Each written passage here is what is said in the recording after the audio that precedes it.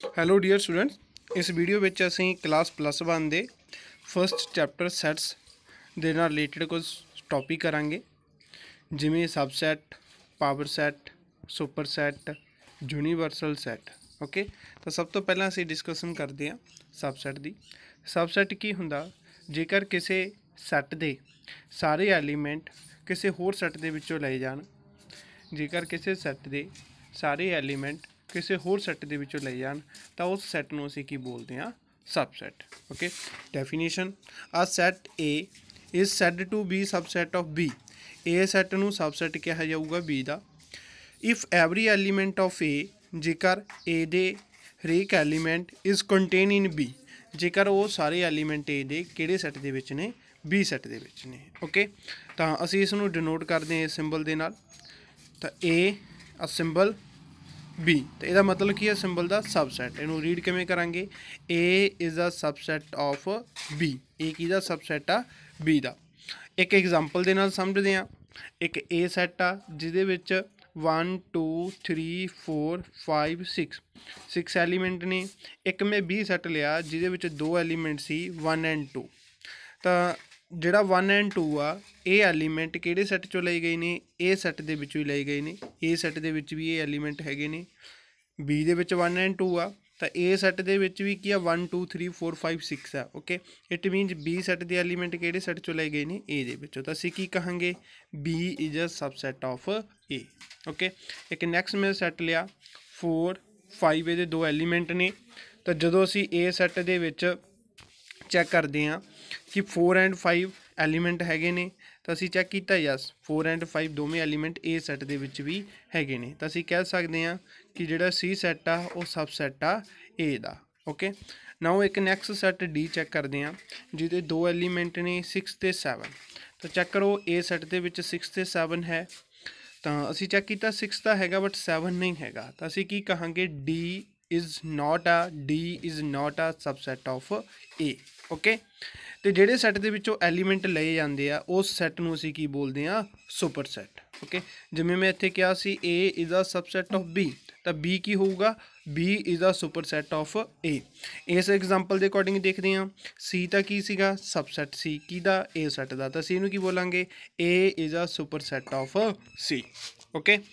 Next important note ਯਾਦ ਰੱਖਣੀ ਆ।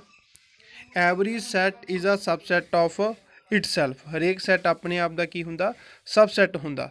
ਜੇਕਰ ਉਹਦੇ ਅਸੀਂ ਸਾਰੇ ਐਲੀਮੈਂਟ ਮੰਨ ਲਓ 1 ਤੋਂ ਲੈ ਕੇ 6 ਤੱਕ ਨੰਬਰ ਲਿਖੇ ਹੋਏ ਸੀ, ਠੀਕ ਆ?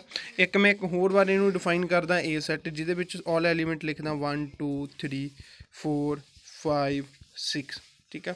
ਇਹ ਸਾਰੇ ਦੇ ਸਾਰੇ ਐਲੀਮੈਂਟ ਇਹ ਸਾਰੇ ਦੇ ਸਾਰੇ ਐਲੀਮੈਂਟ ਇਸੇ ਸੈੱਟ ਚੋਂ ਲਏ ਗਏ ਨੇ।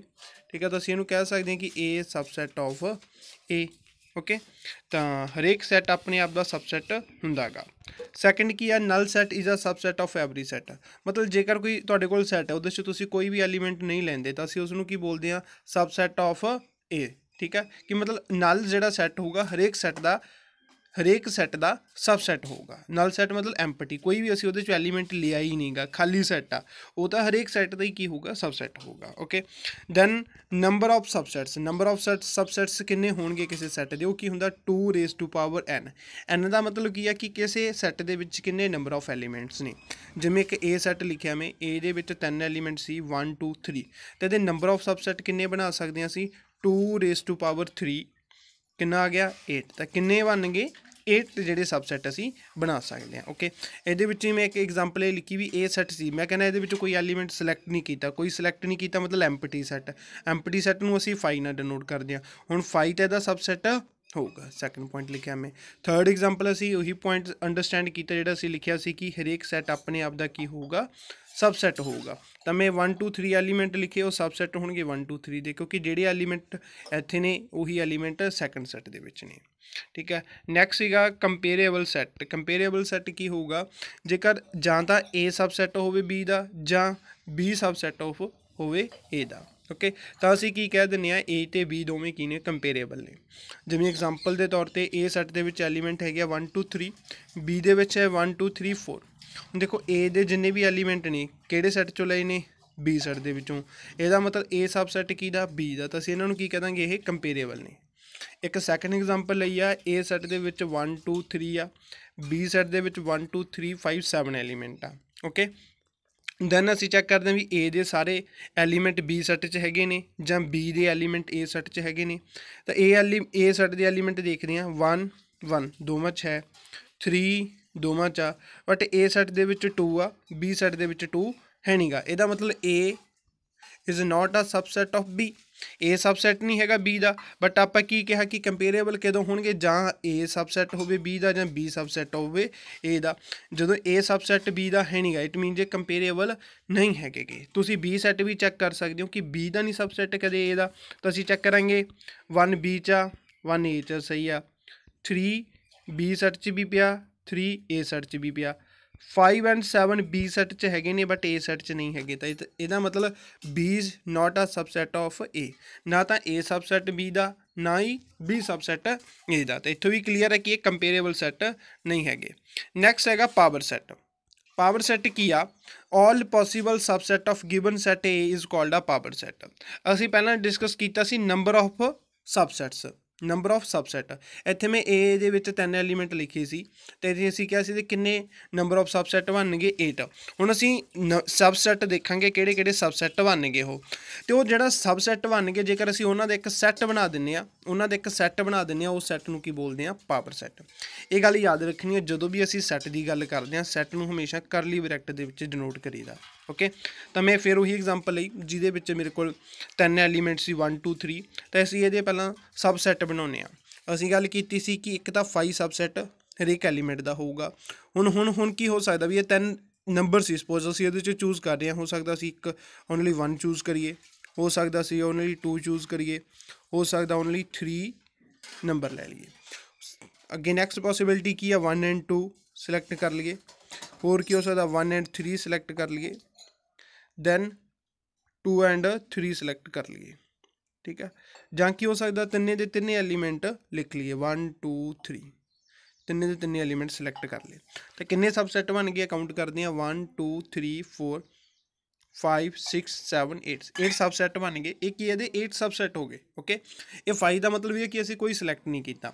ਹੋ ਸਕਦਾ ਸੀ ਇੱਕ ਨੰਬਰ ਸਿਲੈਕਟ ਕਰ ਲਈਏ, ਦੋ ਕਰ ਲਈਏ, ਤਿੰਨ ਕਰ ਲਈਏ ਜਾਂ ਪਹਿਲੇ ਦੋ ਜਾਂ ਪਹਿਲਾ ਤੇ ਥਰਡ ਫਿਰ ਸੈਕੰਡ ਤੇ ਥਰਡ ਫਿਰ ਜਾਂ ਤਿੰਨੇ ਸਿਲੈਕਟ ਕਰ ਲਈਏ ਓਕੇ ਜਾਂ ਹੋ ਸਕਦਾ ਸੀ ਕੋਈ ਵੀ ਐਲੀਮੈਂਟ ਸਿਲੈਕਟ ਨਾ ਕਰੀਏ, ਤੇ ਕਿੰਨੇ ਕਿੰਨੇ ਐਲੀਮੈਂਟ ਹੋ ਗਏ ਇਹਦੇ ਵਿੱਚ? 8 ਐਲੀਮੈਂਟ ਹੋ ਗਏ। ਤੇ ਇਹ ਕੀ ਬਣ ਗਿਆ? ਜੇਕਰ ਅਸੀਂ ਇਹਨੂੰ ਇੱਕ ਬ੍ਰੈਕਟ ਦੇ ਨਾਲ ਕਰਲੀ ਬ੍ਰੈਕਟ ਨਾਲ ਡਿਨੋਟ ਕਰ ਦਿੰਨੇ ਆ ਨੈਕਸਟ ਤੇ ਇਹ ਕੀ ਬਣ ਗਿਆ? ਪਾਵਰ ਸੈੱਟ ਬਣ ਗਿਆ। ਤਾਂ ਪਾਵਰ ਸੈੱਟ ਨੂੰ p ਦੇ ਨਾਲ ਡਿਨੋਟ ਕਰਦੇ ਆ ਪਾਵਰ ਸੈੱਟ ਆਫ a ਇਹ ਅਸੀਂ 8 ਜਿਹੜੇ ਸਬਸੈਟ ਸੀ ਉਹ ਡਿਫਾਈਨ ਕਰਕੇ ਉਹਨੂੰ ਇੱਕ ਸੈੱਟ ਦੇ ਵਿੱਚ ਡਿਨੋਟ ਕਰਤਾ। ਇਹ ਤੁਹਾਡਾ ਕੀ ਹੋ ਗਿਆ? Power set okay next is universal set universal set ਜਿਵੇਂ ਅਸੀਂ ਨਾਮ ਤੋਂ ਵੀ ਕਲੀਅਰ ਹੈ ਨਾ ਯੂਨੀਵਰਸਲ ਮਤਲਬ ਯੂਨੀਵਰਸਲ ਯੂਨੀਵਰਸਲ ਸੈੱਟ ਕੀ ਹੋਊਗਾ? ਜੇਕਰ ਕਿਸੇ ਸੈੱਟ ਦੇ, ਜੇਕਰ ਕਿਸੇ ਸੈੱਟ ਚੋਂ, ਜੇਕਰ ਕਿਸੇ ਸੈੱਟ ਚੋਂ ਅੱਗੇ ਸਬਸੈਟ ਲਏ ਜਾਂਦੇ ਆ, ਜੇਕਰ ਕਿਸੇ ਸੈੱਟ ਚੋਂ ਅੱਗੇ ਸਬਸੈਟ ਲਏ ਜਾਂਦੇ ਆ, ਤਾਂ ਉਸ ਨੂੰ ਅਸੀਂ ਕੀ ਬੋਲਦੇ ਨੇ? ਉਸ ਸੈੱਟ ਨੂੰ ਯੂਨੀਵਰਸਲ ਸੈੱਟ ਜਿਵੇਂ ਅਸੀਂ ਇੱਕ ਜੂ ਸੈੱਟ ਲਿਆ, ਜੂ ਯੂਨੀਵਰਸਲ ਸੈੱਟ ਨੂੰ ਜੂ ਨਾਲ ਡਿਨੋਟ ਕਰਦੇ ਹਾਂ। ਯੂਨੀਵਰਸਲ ਸੈੱਟ ਦੇ ਵਿੱਚ 1 ਤੋਂ ਲੈ ਕੇ ਇਨਫਿਨਿਟੀ ਤੱਕ ਨੰਬਰਸ ਲਿਖ ਲਏ which is natural numbers okay ਮੈਂ ਇੱਕ A ਸੈੱਟ ਲਿਆ। A ਸੈੱਟ ਦੇ ਵਿੱਚ ਓਨਲੀ ਕੀ ਨੇ? ਈਵਨ ਨੰਬਰ ਨੇ। ਈਵਨ ਨੰਬਰ ਨੇ। 2 4 6 8 ਇਹ 2 4 6 8 ਜਿੰਨੇ ਵੀ ਈਵਨ ਨੰਬਰਸ ਨੇ, ਉਹ ਕਿਹਦੇ ਚੋਂ ਲਏ ਗਏ ਨੇ? ਨੈਚੁਰਲ ਨੰਬਰ ਚੋਂ ਲਏ ਗਏ ਨੇ। 2 ਵੀ ਆ 4 ਵੀ ਆਊ 6 ਵੀ ਆਊ 8 ਵੀ ਆਊ। It means A is a subset of U. ਨਹੀਂ ਤੇ ਜੂ ਕੀ ਹੋ ਗਿਆ? ਯੂਨੀਵਰਸਲ ਸੈੱਟ ਹੋ ਗਿਆ। ਯੂਨੀਵਰਸਲ ਮਤਲਬ ਜਿਹਦੇ ਵਿੱਚੋਂ ਅੱਗੇ ਸਬਸੈਟ ਲਏ ਜਾਂਦੇ ਨੇ। ਬੀ ਸੈੱਟ ਬੀ ਸੈੱਟ ਦੇ ਵਿੱਚ ਮੈਂ ਆਡ ਨੰਬਰ ਲਏ ਆ, ਇਹ ਵੀ ਸਾਰੇ ਕੀ ਨੇ? ਨੈਚੁਰਲ ਨੰਬਰ ਨੇ। ਪੀ ਲਿਖਿਆ ਮੈਂ ਪ੍ਰਾਈਮ ਨੰਬਰਸ ਇਹ ਵੀ ਸਾਰੇ ਕੀ ਨੇ? ਨੈਚੁਰਲ ਨੰਬਰਸ ਨੇ, ਯਾਨੀ ਕਿ ਨੈਚੁਰਲ ਨੰਬਰ ਦਾ ਹੀ ਅੱਗੇ ਸਬਸੈਟ ਨੇ। ਤਾਂ ਯੂਨੀਵਰਸਲ ਸੈੱਟ ਕੀ ਆ? ਜੇਕਰ ਅਸੀਂ ਉਸ ਸੈੱਟ ਦੇ ਵਿੱਚੋਂ ਅੱਗੇ ਸਬਸੈਟ ਲੈਨੇ ਆ ਓਕੇ ਤੇ ਯੂਨੀਵਰਸਲ ਸੈੱਟ ਹੋ ਗਿਆ। ਇੱਥੇ ਦੋ ਪੁਆਇੰਟ ਅਸੀਂ ਡਿਸਕਸ ਕਰਦੇ ਹਾਂ ਇਹ ਸਿੰਬਲ ਨੂੰ ਅਸੀਂ ਯੂਜ਼ ਕਰਨਾ ਜਦੋਂ ਕੋਈ ਐਲੀਮੈਂਟ ਕਿਸੇ ਸੈੱਟ ਨੂੰ ਬਿਲੋਂਗ ਕਰਦਾ ਹੋਇਆ। ਇਹ ਸੈੱਟ ਸਿੰਬਲ ਨੂੰ ਅਸੀਂ ਯੂਜ਼ ਕਰਨਾ ਜਦੋਂ ਕੋਈ ਐਲੀਮੈਂਟ ਕਿਸੇ ਸੈੱਟ ਨੂੰ ਕੀ ਕਰਦਾ ਹੋਊਗਾ? ਬਿਲੋਂਗ ਕਰਦਾ ਹੋਊਗਾ। ਜੇਕਰ ਕੋਈ ਸੈੱਟ ਸਬਸੈਟ ਹੈ ਕਿਸੇ ਸੈੱਟ ਦਾ, ਤਾਂ ਅਸੀਂ ਕੀ ਸਿੰਬਲ ਯੂਜ਼ ਕਰਾਂਗੇ? ਇਹ ਵਾਲਾ। ਇਹ ਦੋਵੇਂ ਸਿੰਬਲ ਦਾ ਡਿਫਰੈਂਸ ਧਿਆਨ 'ਚ ਰੱਖਣਾ। ਜੇ ਬਿਲੋਂਗ ਕਰਦਾ ਤਾਂ ਇਹ ਵਾਲਾ ਸਿੰਬਲ ਜੇਕਰ ਅੱਗੇ ਸਬਸੈਟ ਆ ਅਨਦਰ ਸੈੱਟ ਦਾ, ਤਾਂ ਇਹ ਸਿੰਬਲ ਓਕੇ ਤਾਂ ਇਹਦੇ ਨਾਲ ਰਿਲੇਟਡ ਅਸੀਂ ਹੁਣ ਇੱਕ ਦੋ ਐਗਜ਼ਾਮਪਲਸ ਕਰਦੇ ਹਾਂ। ਤਾਂ ਸਭ ਤੋਂ ਪਹਿਲਾਂ ਤੁਹਾਡੇ ਕੋਲ example first according to modern math okay ਤਾਂ ਸਭ ਤੋਂ ਪਹਿਲਾਂ ਤੁਹਾਡੇ ਕੋਲ ਇੱਕ ਫਾਈ ਲਿਖਿਆ, A ਸੈਟ ਲਿਖਿਆ, B ਸੈਟ ਲਿਖਿਆ, C ਸੈਟ ਲਿਖਿਆ। Insert the correct symbol subset or not a subset between each pair of sets ਅਸੀਂ ਦੱਸਣਾ ਫਾਈ ਸਬਸੈਟ ਹੈਗਾ ਜਾਂ ਨਹੀਂ ਹੈਗਾ, B ਦਾ ਸੇਮ ਤੁਹਾਡੇ ਕੋਲ ਇਦਾਂ ਲਿਖੇ ਹੋਏ ਨੇ। ਤਾਂ ਅਸੀਂ B ਚੈੱਕ ਕਰਦੇ ਹਾਂ। ਸਭ ਤੋਂ ਪਹਿਲਾਂ B ਸੈਟ B ਸੈਟ ਦੇ ਵਿੱਚ 159 ਆ। ਕਿ ਫਾਈ ਸਬਸੈਟ ਹੈਗਾ B the?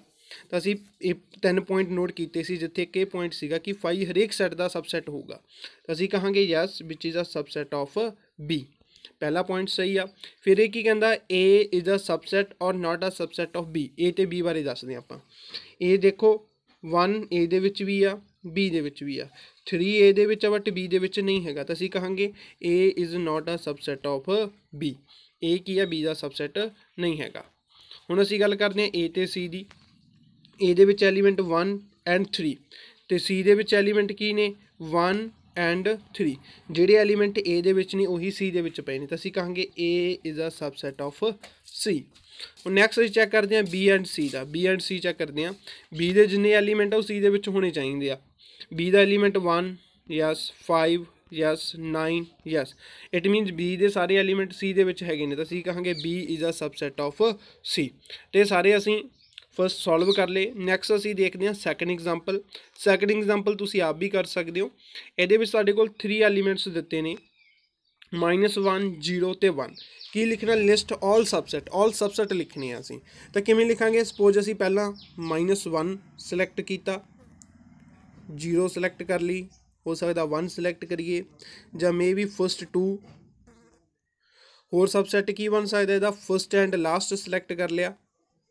Okay then second and third select ਕਰ ਲਿਆ। ਸੈਕੰਡ ਐਂਡ ਥਰਡ ਸਿਲੈਕਟ ਕਰ ਲਿਆ। ਹੋਰ ਕੀ ਹੋ ਸਕਦੀ ਹੈ ਪੋਸਿਬਿਲਿਟੀ ਕਿ ਤਿੰਨੇ ਸਿਲੈਕਟ ਕਰ ਲਈਏ? -1 0 ਐਂਡ 1 ਓਕੇ? ਜਾਂ ਇਹ ਅਸੀਂ ਇੱਕ ਪਹਿਲਾਂ ਵੀ ਪੜ੍ਹ ਲਿਆ ਉੱਪਰ ਵੀ ਡਿਸਕਸ ਕਰ ਲਿਆ ਵੀ ਕਿ ਜਿਹੜਾ ਫਾਈ ਹੈ ਹਰੇਕ ਸੈੱਟ ਦਾ ਸਬਸੈੱਟ ਮਤਲਬ ਕੋਈ ਵੀ ਅਸੀਂ ਸਿਲੈਕਟ ਨਾ ਕਰੀਏ। ਇਹ ਤੁਹਾਡੇ ਕੋਲ ਕੀ ਬਣ ਗਏ? ਦੇ ਸਬਸੈਟ ਬਣ ਗਏ। ਅਕਾਊਂਟ ਕਰੋ 1 2 3 4 5 6 7 8 8 8 ਕੀ ਬਣ ਗਏ? ਦੇ ਸਬਸੈਟ ਬਣ ਗਏ। ਤੇ ਸਾਨੂੰ ਪਤਾ ਨੰਬਰ ਆਫ ਸਬਸੈੱਟ ਕਿੰਨੇ ਹੋਣੇ ਸੀ? 3 ਐਲੀਮੈਂਟ ਨੇ 2 raise to power 3 which is 8 okay next one more example okay ਇਹ ਐਕਸਰਸਾਈਜ਼ ਚੋਂ ਫੋਰਥ ਕੁਐਸਚਨ ਇਹ ਸੈੱਟ ਦੇ ਵਿੱਚ ਇਹ ਐਲੀਮੈਂਟ ਦਿੱਤੇ ਆ। ਦੈਨ ਅਸੀਂ ਦੱਸਣਾ which is true or false ਜਿਹੜੀਆਂ ਸਟੇਟਮੈਂਟ ਦਿੱਤੀਆਂ ਨੇ, ਇਹ ਟਰੂ ਨੇ ਜਾਂ ਫਾਲਸ ਨੇ। ਇੱਕ ਗੱਲ ਧਿਆਨ 'ਚ ਰੱਖਣੀ ਹੈ, ਇੱਥੇ ਪਹਿਲਾਂ ਕਰਲੀ ਬ੍ਰੈਕਟ ਵਾਲੀ, ਇਹਦਾ ਮਤਲਬ ਹੋ ਗਿਆ ਪੂਰਾ ਕੰਪਲੀਟ ਸੈੱਟ ਫਿਰ ਇੱਥੇ ਇੱਕ ਕਰਲੀ ਬ੍ਰੈਕਟ ਪਾ ਕੇ ਫਾਈ ਲਿਖਿਆ ਪਿਆ ਓਕੇ ਤੇ ਫਾਈ ਕੀ ਆ? ਪੂਰੇ ਦਾ ਪੂਰਾ ਇੱਕ ਐਲੀਮੈਂਟ ਆ। ਇਹ ਕੀ ਇੱਕ ਐਲੀਮੈਂਟ ਆ।